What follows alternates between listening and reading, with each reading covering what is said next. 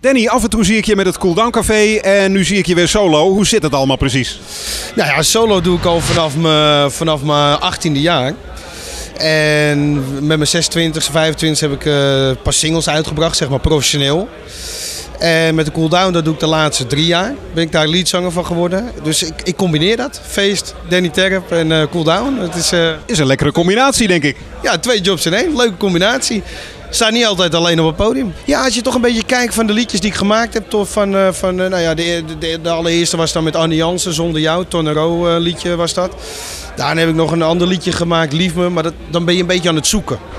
En uiteindelijk krijg je toch een beetje je eigen identiteit met Jij bent de liefste, Onder Stress. En als je eigenlijk kijkt van Onder Stress, een beetje dat, dat, die, die melodie en, en die sound.